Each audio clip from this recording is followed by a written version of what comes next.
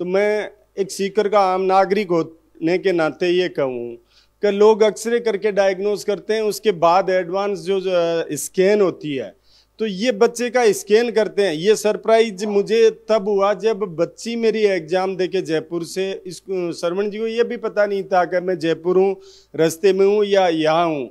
उसके बाद बोले ओके यार तेरी बच्ची ये भारतीय कितने छः सौ चालीस नंबर आया गया मैं एकदम से शौक में मैं, मैंने इनको पूछा भाई बात हुई क्या आपकी? क्या नहीं है हमारे तो फ़ोन आया था सरवण जी का नहीं आया।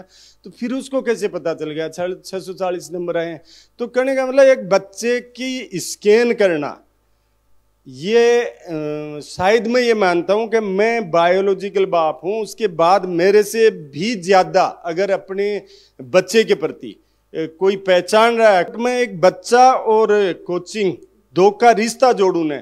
तो मेरा मानना व्यक्ति से यह है कि शायद सीएलसी से बेहतर कोई इंस्टीट्यूट इस दुनिया में भी नहीं हो सकती।